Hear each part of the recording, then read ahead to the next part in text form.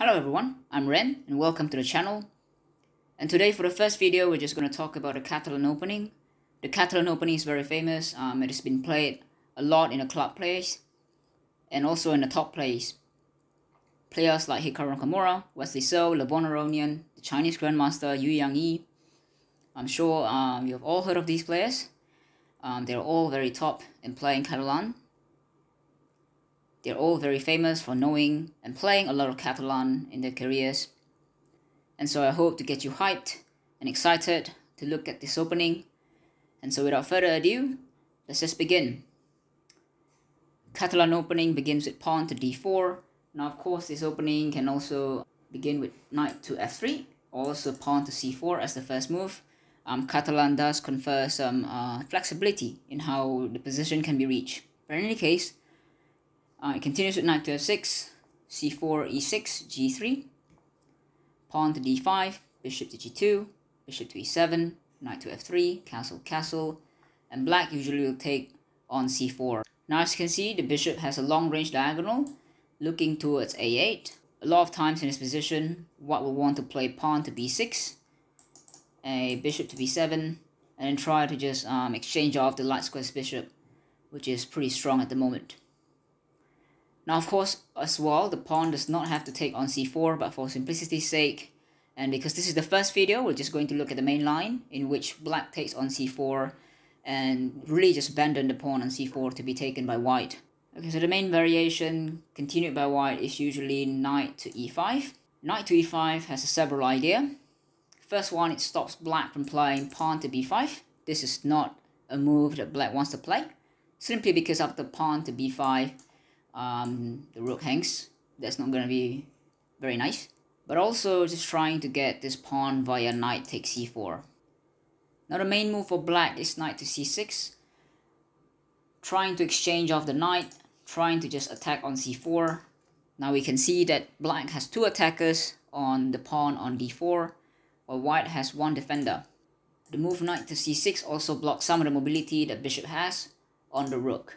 Now the main line for white again can continue with bishop to c6 or the move knight to c6. Both are playable and both has been played by uh, top grandmasters and both has lead to equality for both sides for both white and black. So a lot of times you will see a lot of grandmaster plays this kind of line um, to reach equality, to uh, to reach a draw position, to, to reach a drawish position in which they can draw quickly. Now I'll just begin with bishop takes c6 first. That is, the pawn has to recapture after the knight takes. You will see that the knight attack both the queen and the queen uh, and the bishop. The queen then moves to e8, where it attacks the uh, the knight. The knight can capture, and queen to a4 to just um, capture the pawn on the next move. Black here will play pawn to e5 as a very simple move to simplify the position.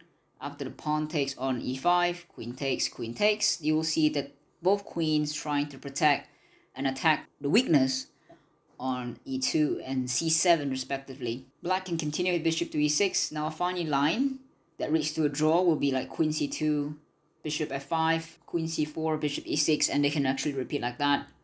But of course, both sides can play for more. But in general, this is a so-called equal position for both sides. A lot of times when Grandmaster wants to draw, you will see both of them place this exact line to reach equality very quickly. Now one might notice that in this position, white is up a pawn and is accountable to turn this into a win really. But really after bishop to e6, there really isn't anything to play for white. White is up a pawn, but look at the light squares here, which is very soft. Black's going to take advantage of it if white is not careful. For example, white can play queen to d3, which is perfectly fine. But after rook d8, take a look at how developed the pieces of black is. Um, every piece of black is very developed. Um, they are out of the first rank, except for the rooks. While look at white's minor pieces and the rook, they are still stuck in a corner. White is very late developed, and for the, for one pawn, for the cost of one pawn, black compensation is really really evident. For example, white can continue with queen to e3, just trading off the queen, since black is the is the one that is more developed. But black does not have to, to, to trade queens, black can actually play queen h5. Take a look at the light squares. White here does not have the counterpart, which is the light squared bishop, to guard on g2 here. Now even in this position, white is already forced to play pawn to f3. Um, he can't play anything else. If he lets play something like, let's say, knight to d2 or knight to c3, doesn't matter. Then there's already a move of knight to g4, which is very menacing because it's checkmating on h2. And if you play h4 or h3, of course, now you lose your queen. So this is the danger of white trying to, to, to overpress in this position. So most of the time you see white playing this position, only trying to trade off a bunch of pieces, trying to get that draw quickly as possible. But let us return to this position a little bit and say that white actually plays pawn to f3 to just block the checkmate, the threat of knight going to g4. Well, here black can actually play bishop to c4, already attacking at a very soft pawn on e2. Take a look at those pieces working on knight squares. Very delicate, very strong. Now, white has the option of going queen f2, but after rook to e8. Now we see knight c3 trying to protect the pawn on e2. Knight d5 already placing pressure on this knight, undermining the knight on c3.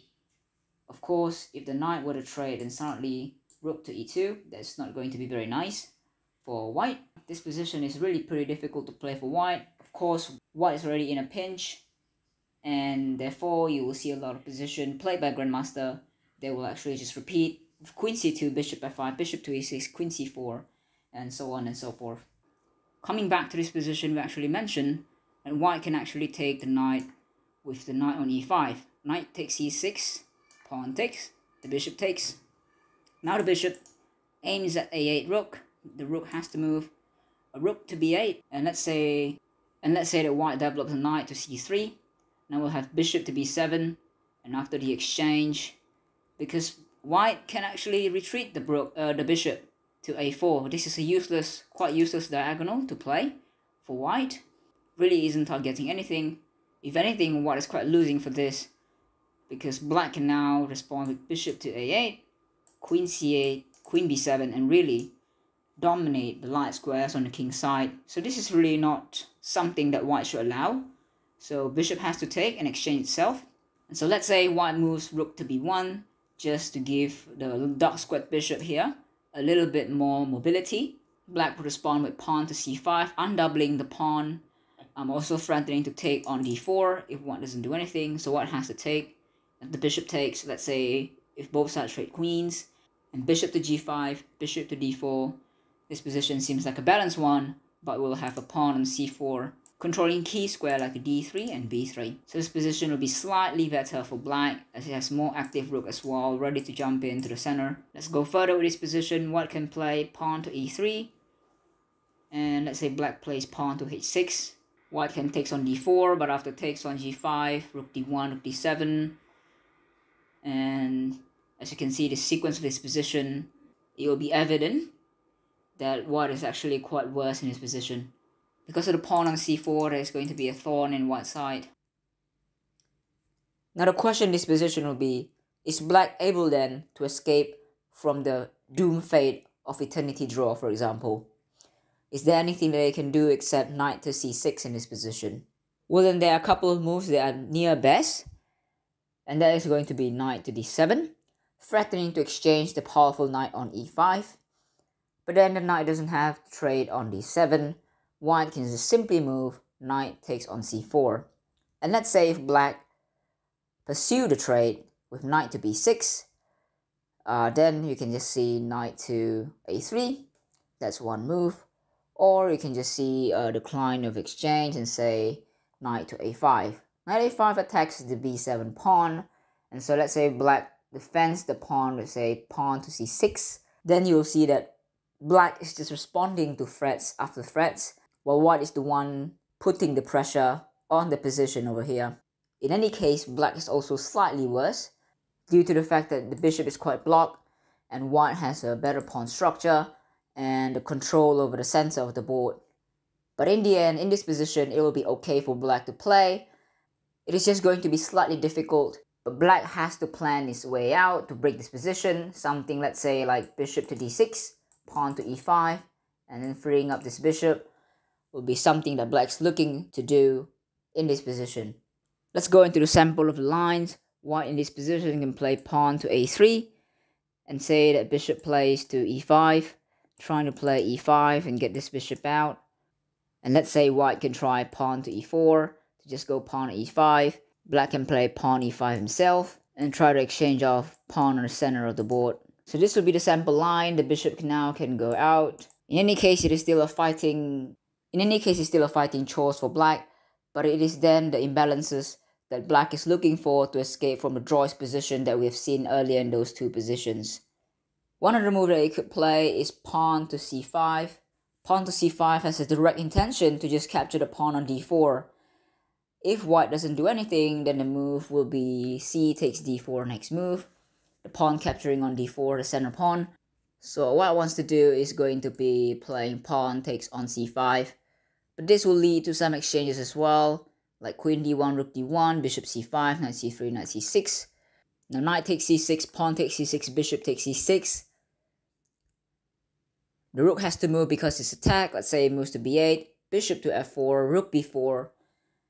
In this position, you will see that, again, white is pressing in this position. Um, black is not really out of the woods, but he is able to hold should he play precisely.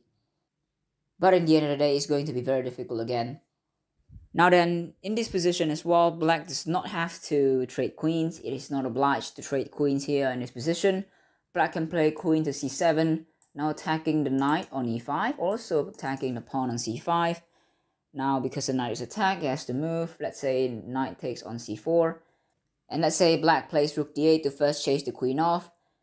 And say queen b3. This is probably the better position for black to play. And it is one of the line, and it is the best line currently known to actually deflect the chances of drawing in the knight e5 lines if white decides to play knight e5.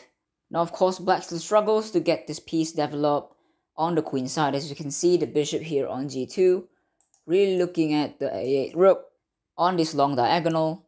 So black still has to fight to get some of his pieces out. Now in this position, I recommend playing knight to c6, trying not to capture the pawn first on c5, trying to develop your piece. You see the queen sitting here nicely on b3, you want to bring your knight to d4 to bamboozle the queen a little bit. Let's say if white plays knight to c3, you can quickly bring your knight to d4. Say queen to a4, trying to grab the more active square. Again, the queen cannot return to d1 or c2 because knight to f3 check, that wins the queen. And so that is the virtue of this position if black keeps developing its piece and really not taking the pawn on c5 first. One of the moves that white could try to stop black from playing knight d4 if bishop to e3 is white playing bishop to e3 himself, trying to block trying to take the knight if knight goes to d4. Knight d4, the take and take. Rook c1, let's say. Queen c5. In this position, black will be able to get out um, of this position safely. And this will be one of the imbalances that black is looking for to escape the draw's position that we see earlier. Now again, in this position, black could play bishop to d7, really trying to displace the queen here on a4. The queen can go to a5, trying to exchange because how misplaced and how inactive the queen is on a4 and a5 square. You'll see pawn to b6, black can actually decline the exchange. And white here really cannot take on b6 because after pawn takes on b6, then you'll see the queen being trapped on the a file and on the b file. So in this position again, queen to a6 will be the correct move. But then you'll see black trying to close that diagonal with knight to d5. And let's say after bishop to f4 trying to attack the queen, the knight can just exchange on f4 pretty comfortably and play bishop to c6. Now in this position, white does not have the option to grab the rook on a8 because in this position, because in this position the knight can come to e2, giving a check and no matter where the king goes, the rook capture on a8. You can see that black's actually up a piece here and is going to win this game pretty smoothly. So coming back to this position, there is almost no way for white to avoid the exchange of the bishop now you do not want to play pawn to f3, now that beats the purpose of the bishop sitting on g2. And also you do not want the bishop to come and take on g2 and park your king on g2 after recapture because the queen is going to come and replace the bishop sitting on c6 and having the light square control this diagonal. And so in this position for white, is going to be bishop takes bishop and after queen takes. There are just a couple of moves that white can continue here, but pawn to b6 is not the move because after pawn to b6, again the queen is trapped none of these square is actually in the axis for the queen to escape. And so this will actually be losing for white if he does take on b6. So he has to sacrifice a pawn, say knight to e5, to kick away the queen from the long diagonal here. It is going to be queen takes e5 or queen to c8, trying to exchange the queen. But in any case, there are a lot of potential here for both sides to win the game, and it will be the imbalances that both sides are looking for, if anything. I recommend playing this position yourself to test it out, and then see if it's actually easy or difficult to play this position. Now I want to come back to this position for a while and state that I won't be doing uh, positions or moves that are not very popular anymore in the top level plays. Moves such as pawn takes on c4 in this position was very common 10 years ago, but might not very relevant nowadays, and so I won't be covering them too much. Maybe I won't be covering them at all. And I'm sure some of you have already seen this position before. But if you guys want to learn more of this position, I will link one YouTuber that I think that does a fantastic job on opening coverage. Link will be in the description. The channel name is called Hanging Pawns, quite literally. You guys might want to check that channel out. He does a fantastic job in covering most of the classic lines that I think that I will not be covering in this channel. Just because they have fallen out of favor. And that is because black is thought to be worse in the position where he takes the pawn without developing his piece. As you can see, these pieces are still in the back rank. And a lot of times, black has to waste a couple of tempos to get his pieces out in a favorable square, just as we see in the line with knight to c6. And so this may not be very favorable. Black nowadays may want to actually develop the bishop before taking on c4. Going a bit further, black can actually defend his pawn on c4 as well, but that actually again leads to a very drastic lag in the development of the pieces. Now white can continue with knight to f3, black can continue with pawn to b5, knight e5, knight d5. But as you can see, um, black will have tons of his time wasted just trying to defend this pawn on c4. Plus this bishop is really nicely placed on g2, aiming on a8. Anytime black's not careful, he will lose the rook without compensation. So this kind of line with protecting the pawn on c4 has become less favorable in modern play. But if you guys want to check that out, um, it is available in the channel called Hanging Pawns. Once again, I will link the, um, the channel. Once again, I'll link the channel link to the description box. And feel free to check that out. He does a fantastic job covering most of the classic lines that you will see. And yeah, with that said, this video has come to an end. There will be much more of this video coming up from this series of Catalan opening. Hope you guys enjoy it. See you in the next one. Thank you.